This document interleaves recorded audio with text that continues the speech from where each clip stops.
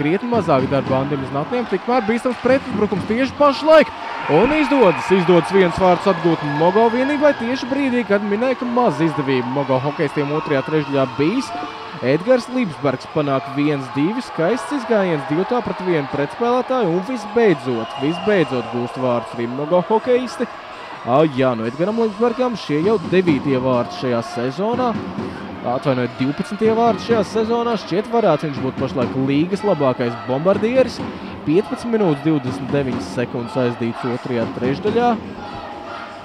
Nu, redzam atkārtojumā šo epizodi. Uz, uz pretkustību notvēra Znatnāju Edgars